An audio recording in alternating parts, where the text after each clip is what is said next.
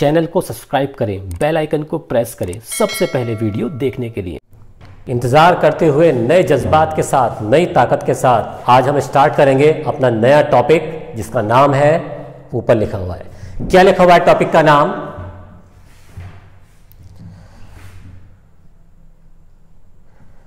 Video का इंतज़ार हुआ खत्म। जय हिंद। आज हम स्टार्ट करेंगे अपना नया टॉपिक, और टॉपिक हमारा ये रहा।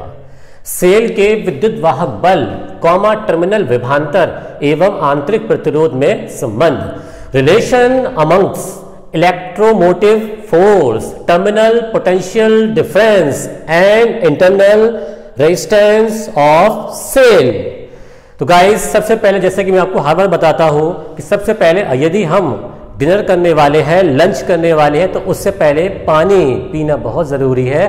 लंच या डिनर के बाद पानी नहीं पीना चाहिए। सिमिलरली सबसे पहले हम यहाँ पर जो वाटर है वाटर पीने वाले हैं मतलब जो ऊपर ऊपर की चीज़ें हैं, उनको बारे में पढ़ने वाले हैं। तो क्या पढ़ेंगे? कैसे पढ़ेंगे? देख लो सिंपल सी बात है। जो हेडिंग में लिखा हुआ है, वही मैं तुमको बताने वाला हूँ। क्या लिखा हुआ है? फ़र्स्ट है हमारा, विद्युत वाहक बल मीन्स इलेक्ट्रोमोटिव फोर्स क्या है ये इलेक्ट्रोमोटिव फोर्स मीन्स विद्युत वाहक बल है क्या? अगर तुम लोगों के पास कोई भी एक सर्किट है, तुम्हारे घर में जो वायरिंग हो रही है, इसको भी सर्किट कहा जाता है। तो कोई सर्किट है तो किसी भी ऑब्जर्वेटिव चार्ज को पूरे सर्किट में सेल के साथ में, यानी अगर हम लोगों के पास कोई टॉर्च का सर्किट बना हुआ है तो सेल के साथ पूरे सर्किट में चार्ज को गति कराने में मोशन कराने में, जो वर्क करना पड़ेगा, जो कार्य करना पड़ेगा, वही कार्य कहलाएगा इलेक्ट्रोमोटिव फोर्स विद्युत वाहक बल और इसको कैपिटल ई e से शो करते हैं। अब यह मत कहना कि यह बल है तो इसकी यूनिट यूनिट न्यूटन होना चाहिए। ना, इसका यूनिट न्यूटन ना होगा। इसके यूनिट क्या बनेगा? वोल्ट बनेगा।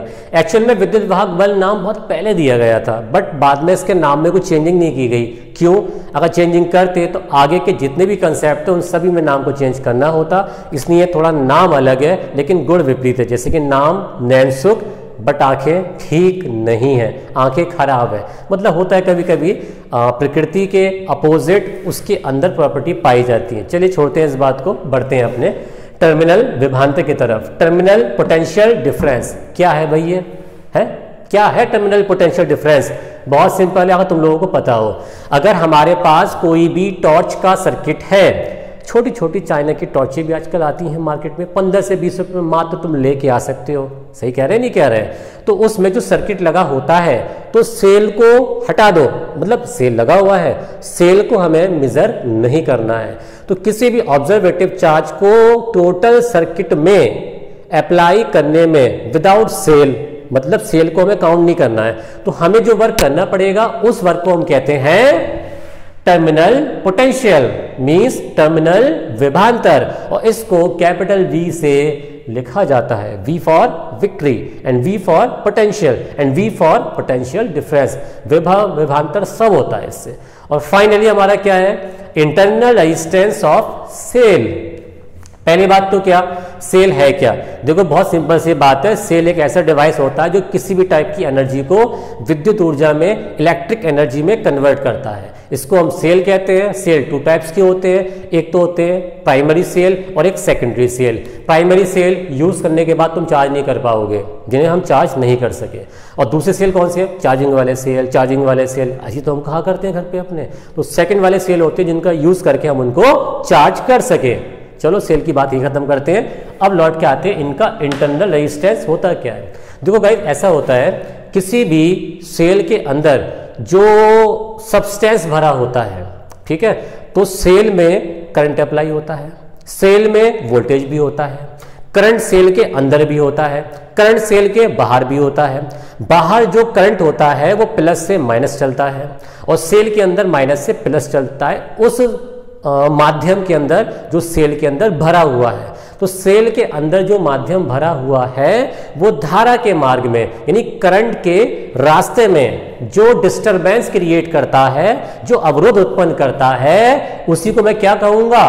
तो मैं सो कहूँगा इंटरनल रेजिस्टेंस आंतरिक प्रतिरोध, और इसको स्मॉल आर से शो किया जाता है। तो यहाँ करके मैंने आपको इन सारे पॉइंट्स के डाउट क्लियर किए हुए हैं। अब मैं आपके सामने एक छोटा सा डायग्राम बनाने वाला हूँ। देखो सामने जरा ध्यान से। यहाँ पर एक रेजिस्टेंस लगाया। यहाँ एक बैटरी लगाई। और मैंने फिर से यहाँ पर एक रेजिस्टेंस लगा दिया। जबकि यहाँ का टर्मिनल पोटेंशियल V है। रेजिस्टेंस R है। स्मॉल r है। कैपिटल ई है, प्लस है, माइनस है, करंट इसमें आई है। इसके अलावा देखते रहो भाई ध्यान से, देखते रहो ध्यान से, यहाँ पर स्मॉल आर क्या है हमारा? इंटरनल रेजिस्टेंस है। तो एक बात समझने की है सर्किट के अंदर कि जो हमारा ये सेल है, जिसका इलेक्ट्रोमोटिव फोर्स कैपिटल ई है, यानी विद्युत वाहक बल कैपिटल ई है, ये टोटल वोल्टेज कैपिटल ई है तो जब इसको ऑन किया जाएगा, कहने का मतलब जब यहाँ से करंट अप्लाई होगा तो वोल्टेज भी इसका क्रिएट होगा इस रेजिस्टेंस के कॉर्नर्स पर, यानी विभानता स्थापित होगा। तो इसमें से जो चार्ज निकलेगा, उस चार्ज को संपूर्ण सर्किट में टोटल सर्किट में अप्लाई करने में जो वर्क किया जाएगा, ये वर्क टू टाइप का होगा। टू टाइप्स का। पहला कौन सा होगा? ये बात समझने की है। पहला वर्क इस कैपिटल आर रेजिस्टेंस के ज़रिए कंप्लीट किया जाएगा। सेकंड वर्क इस इंटरनल रेजिस्टेंस के ज़रिए कंप्लीट किया जाएगा। तो इन पर अलग अलग जो फोर्स लगाया गया और उनसे जो वर्क किया गया, उनके वर्क का जो एडिशन होगा, जो जोड़ होगा सेल के total electromotive force means capital E के इक्वल होगा। क्योंकि यहाँ ना तो कैपिटल ई e होता तो ना ही यहाँ पर इस पर वर्क करना पड़ता और ना ही यहाँ पर इस पर वर्क करना पड़ता। कोई वर्क नहीं करना पड़ता हमें। लेकिन जब बैटरी दे रखी, तभी तो वर्क करना पड़ रहा है। तो हम ये कह सकते हैं, क्या जो हमारा टोटल वर्क होगा, कौन सा वाला? टोटल वर्क देखो, ध्यान से, विद्यार्थियों और साथियों और स्टूडेंट्स और guys W is equal to W external plus W internal ये जो टोटल W है, ये क्या है? पूछोगे मुझसे। टोटल W है कैपिटल E का वर्क W एक्सटर्नल क्या है?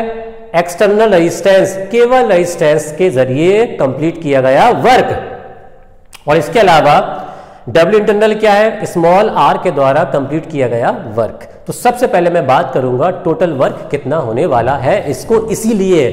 देखा तुमने? इसीलिए मैंने इसको इक्वेशन नंबर फ़र्स्ट लेट कर लिया है कि पहले हम तीन तीनों की वैल्यू फाइंड कर लेते हैं, फिर बारी बारी से वैल्यू फिट कर देंगे इसके अंदर, ठीक है? तो देखें E is equal to W upon Q then W is equal to E Q very simple formula अब इसके अलावा Q इज़ इक्वल टू क्या होता है? I T then W is equal to E I T equation number second अब इसी के बाद हम बात करेंगे W एक्सटर्नल की। कैसे बात करेंगे इसके अंदर? देखते guys V is equal to क्योंकि इसके लिए टर्मिनल पोटेंशियल डिफरेंस कितना है? कैपिटल V है। तो क्या करेंगे? V is equal to W external upon q. Then w external is equal to q into v. ठीक है गाइस अब यहाँ पर q इज़ इक्वल टू क्या होता है? आई टी और v इज़ इक्वल टू क्या होता है? आई आर दोनों के दोनों फॉर्मूले कर दो फिट इसके अंदर। बताओ कितना हो जाएगा? W external is equal to formula I T into I R then formula क्या बनेगा हम लोगों के पास? W external is equal to I square R T equation number क्या तैयार हो गई हमारे पास? थर्ड इक्वेशन नंबर बन गई हमारे पास? थर्ड बन गई। ठीक है? अब थर्ड इक्वेशन बन जाने के बाद क्या रह गया? अब कहोगे, सर, आपने आर के लिए वर्क फाइंड कर लिया। कैपिटल ई e के लिए वर्क फाइंड कर लिया। लेकिन कहाँ गया? कहा गया? इंटरनल रेजिस्टेंस का वर्क आंतरिक प्रतिरोध का वर्क या स्मॉल आर का वर्क चलो, देर नहीं हुई, ठहर जाओ, यही करने वाले अब सबसे पहले यहाँ मैं इसको अलग अलग पार्टीशन में दिखा देता हूँ। ठीक है? तो बात करते हैं डब्ल्यू इंटरनल एक काम ना करें, हम लॉन्ग मेथड यहाँ पर काहे यूज़ कर रहे हैं? हम शॉर्ट मेथड भी तो यूज़ कर सकते हैं। We can use a very short method here कौन सा वाला? अगर हम डब्ल्यू इंटरनल की बात करेंगे तो भाई सीरीज़ है। करंट तो चेंज होने वाला है नहीं। टाइम भी हम सेम रखने वाले हैं। तो चेंज क्या होगा? कैपिटल आर की जगह क्या आ जाएगा? Small R internal resistance so करते हैं यहाँ पर देखो। W internal is equal to I square small R T equation number four हो गया ना कितना सिंपल अब करने वाले क्या है? इक्वेशन नंबर टू से W की वैल्यू इक्वेशन नंबर थ्री से W एक्सटर्नल की वैल्यू इक्वेशन नंबर फोर से W इंटरनल की वैल्यू सब्सटीट्यूट करने वाले हैं इन इक्वेशन नंबर फ़र्स्ट करें? चलो लेट्स प्ले यूजिंग लिखेंगे क्या यहाँ पर हम?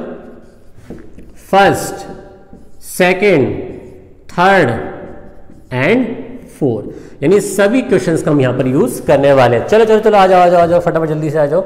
डब्ल्यू की वैल्यू कितनी हम लोगों के पास? डब्ल्यू की वैल्यू है ई I T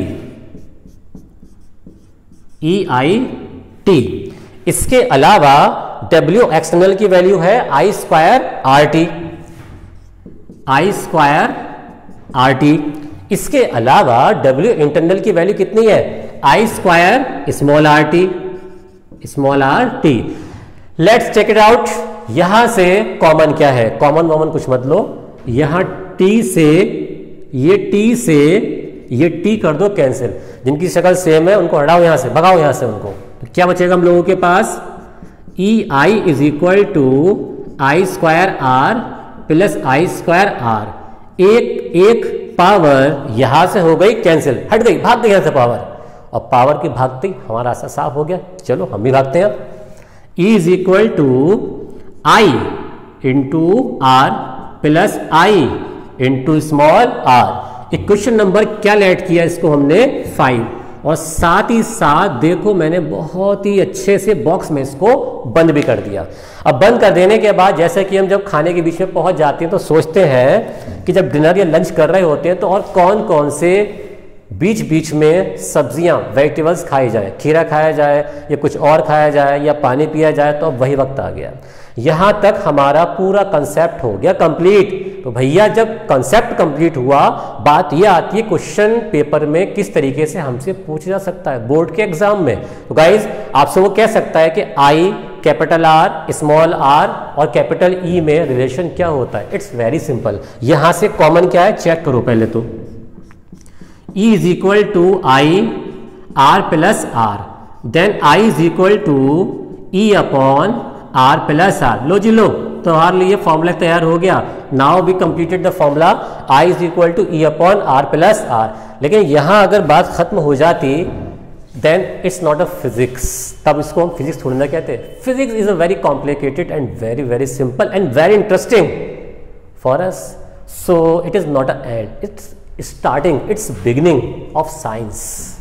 So, using again 5 using again equation 5 चलो 5 यूज़ करते हैं.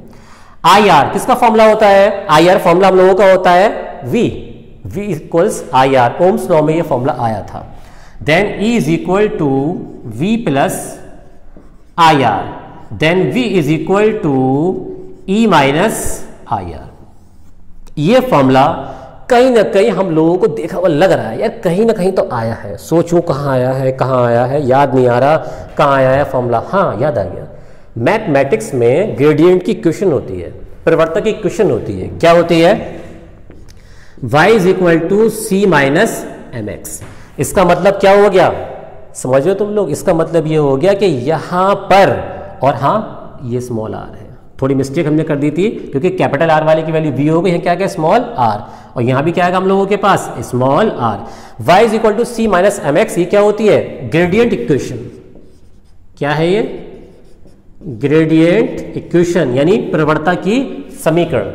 इससे हमें यह बात बिल्कुल क्लियर हो रही है कि अगर हम ग्राफ तैयार करें इट मीन्स दैट हम potential difference terminal potential difference और इलेक्ट्रोमोटिव फोर्स कैपिटल ई के बिटवीन में ग्राफ प्लॉट करें तो हमें एक स्ट्रेट लाइन एक स्ट्रेट कर्व मिलेगा, वो भी ग्रेडियंट के फॉर्म में। कैसे मिलेगा? यकीन नहीं है मेरे बात का? चलो बना ही लेते हैं पहले यहाँ पर, ठीक है। तो पहले हम यहाँ पर बनाते हैं। ध्यान दो सामने बोर्ड पर। ध्यान बोर्ड पे देना होगा, मुझे पता है कि मोबाइल पे एड्स वगैरह आते हैं, थोड़ा डिस्ट्रैक्शन होता है, लेकिन यार तुम अगर डिस्ट्रैक्शन करोगे तो टॉपिक क्या समझोगे? टॉपिक को समझने के लिए कम से कम 10 से 15 मिनट तो थोड़ा आराम से बैठा करो बाद में जाके वाटर वाटर पानी कोल्ड ड्रिंक जो चाहो पी सकते हो ठीक है? चलो करते हैं स्टार्ट तो यहाँ पर हम बनाते हैं इसका कर्व तो यहाँ देखो ध्यान से ये इस तरीके से हमने एक्स एक्सिस बनाई है ये वाई एक्सिस बनाई है और ये हमारा ओरिजिन पॉइंट बना हुआ है. तो यहाँ हमने कैपिटल ई e, नीचे से ऊपर की तरफ़ और यहाँ हमने लेट किया हुआ है वी इस तरीके से। देख रहे हैं आप ध्यान से? अगर हम एक काम करें, ये एक्सिस कौन सी है? वाई वाई एक्सिस पर वी की वैल्यू कितनी होगी? ज़ीरो अगर मैंने यहाँ पर v की वैल्यू ज़ीरो कर दी देन e इक्वल्स क्या हो जाएगा? आई आर ई इक्वल्स क्या हो जाएगा? आई आर तो यहाँ पर क्या आएगा? आई आर और अगर हम पहुँच गए x एक्सिस पर तो x एक्सिस पर e की वैल्यू ज़ीरो होगी। e की वैल्यू कितनी हो गई? ज़ीरो अगर ई e की वैल्यू ज़ीरो अरे ध्यान दें पहले, अगर हम यहाँ पहुँचे तो वी क्वस आई आर हो गया था, ठीक है? अब यहाँ क्या हो गया हमारे पास? यहाँ पर ई e की वैल्यू कितनी? ज़ीरो देन कितना आएगा? V equals minus I R ये तो फॉर्मूला बनेगा इसका. V equals minus I R ये फॉर्मूला हमारा e और v के बीच लेट हो रहा था. लेकिन अगर ये फॉर्मूला हम बनाए किसके लिए? ई e और आई के लिए। मैं आपको बना के दिखा रहा हूँ उसका ग्राफ कैसे कैसे बन सकता है। अगर हम बनाए आई के लिए तो आई के लिए क्या होगा? आप ध्यान देना, अगर हम ई e पर आएँगे तो आई की वैल्यू कितनी हो जाएगी? ज़ीरो हो जाएगी। और जैसे ही आई की वैल्यू ज़ीरो हुई, आसपास से ट्रेन गुजर रही है, उस पर आवाज़ पर ध्यान मत दो। आई की वैल्यू ज़ीरो हुई देन वी इज़ टू कितना हो गया? वी इक्वल्स ई तो यहाँ पर जो वैल्यू होगी हमारी, वो वी हो जाएगी। कितनी हो जाएगी? वी अगर इसके अलावा हम आते हैं एक्स एक्सिस पर तो एक्स एक्सिस पर ई e नहीं होगा। इट मींस दैट ई की वैल्यू ज़ीरो होगी। देन वी इक्वल्स क्या होगा? आई आर वो भी कैसा होगा? माइनस का आई आर इसका मतलब जो ग्रेडियंट होगा, वो अप नहीं होगा, बल्कि डाउन होगा। ढाल समझते हैं आप? जब भी कभी आप पहले जाते थे स्टेशन पर, अब भी स्टेशन पर जाते हैं तो कहीं सीढ़ियाँ बनी हुई नहीं होती है कुछ जगह। जैसे कि सीढ़ियाँ कैसे बनती है? इस तरीके से। ऐसी होती हैं, हम वन बाय वन करके उतरते हैं। लेकिन कुछ स्टेशन पे ये सीढ़ियाँ नहीं होती हैं यार, फिर क्या होता है? फिसलने के लिए होता है। याद आए कुछ दिन? और हम भागते भागते जाते हैं, जब उतरते हैं तो बहुत कम फोर्स लगाना पड़ता है, हम लुढ़कते हुए जाते हैं। और चढ़ते समय हमें बहुत ज़्यादा फोर्स लगाना पड़ता है। तो इसी तरीके से यहाँ पर हमें ये ढाल ग्रेडियंट के रूप में दिखाना पड़ेगा। चलो, दिखाते हैं। कैसे? तो यहाँ से। ये क्या हो गया हमारा? स्मॉल आर तो इस तरीके से हमें स्ट्रेट लाइन के फॉर्म में एक ग्रेडियंट इसका मिल चुका है, ठीक है? अब इसके अलावा हम इस फॉर्मूले को थोड़ा बेहतर कर लेते यार, ये जो फॉर्मूला बन गया है, असल में ये है किस चीज़ का? बाई चांस एग्ज़ाम में मान लो अगर शॉर्ट क्वेश्चन में आ गया। तो क्या करोगे? भाई, क्या होगा क्वेश्चन में ऐसा हमें दिया हुआ, जिससे हमको मालूम पड़ जाए कि भाई, ये v is equal to E minus I R है। क्या करें ऐसा? चलो, मैं तुमको जरा क्वेश्चन एक्सप्लेन करता हूँ उसको कैसे आएगा। अगर उसने कहा डिस्चार्जिंग की क्वेश्चन बताओ। डिस्चार्जिंग इक्वेशन यानी निरावेशन की समीकरण। निरावेशन की समीकरण क्या होती है? वेरी सिंपल आप लिख दोगे, v equals E minus I R देख रहे हो? यहाँ पर इलेक्ट्रोमोटिव फोर्स में से आई आर डिक्रीज हो रहा है, घट रहा है, कम हो रहा है। और जब इलेक्ट्रोमोटिव फोर्स कम होगा, इसका मतलब ये चार्जिंग नहीं हो रही है, ये डिस्चार्जिंग हो रही है, ये निरावेशन हो रहा है, ये आवेशन नहीं हो रहा। डायग्राम कैसे बनाओगे इसका? चलो इसका एक छोटा सा प्यारा सा डायग्राम बनाने की कोशिश करते हैं। तो यहाँ इस तरीके से देख सकते हो, ये plus minus R capital R. तो ये क्या हो गया हमारा? डिस्चार्जिंग का सर्किट और ये क्या हो गई हमारी? डिस्चार्जिंग की इक्वेशन अब हम बात करेंगे चार्जिंग इक्वेशन चार्जिंग इक्वेशन यानी आवेशन की समीकरण। तो गाइस आवेशन की समीकरण क्या होती है? चलो इस बारे में थोड़ा सा डिस्कस कर लेते हैं। यहाँ v equals E minus I R था। बहुत खुशी हुई हमको देख करके यार, कम से कम इस वाले फॉर्मूले का यहाँ यूज़ तो हुआ। लेकिन अब चार्जिंग आ गई। चार्जिंग में इलेक्ट्रोमोटिव फोर्स घटता नहीं है, बल्कि जो कम हुआ, उसको बढ़ाया जाएगा। जैसे कि हमारी बॉडी में जब पानी का लेवल कम होता है तो हम पानी पी पी की लेवल को अप कर देते हैं अप टू डेट कर लेते हैं। बिल्कुल सेम हमें इसके साथ में करना है। मगर इसको पानी नहीं पिलाना होता है, इसको करंट चाहिए, इसको वोल्टेज चाहिए, ठीक है? Then V equals E plus I R देखा आपने? पहले क्या था? माइनस। यहाँ क्या आ गया? प्लस। क्यों आ गया? क्योंकि यहाँ पर चार्जिंग की बात कर रहे हैं। यहाँ हम आवेशन की बात कर रहे हैं। इसलिए यहाँ पर प्लस आ गया। अब इसके अलावा मैं यहाँ थोड़ा सा पार्टीशन और कर देता हूँ। हालाँकि थोड़ा डायमेंशन काफ़ी बड़ा हो चुका है। अब इसके अलावा हमको एक काम करना पड़ेगा। अब वो वर्क क्या है? इसका हमें डायग्राम बनाना होगा चार्जिंग का। देखो कैसे बनाएँगे।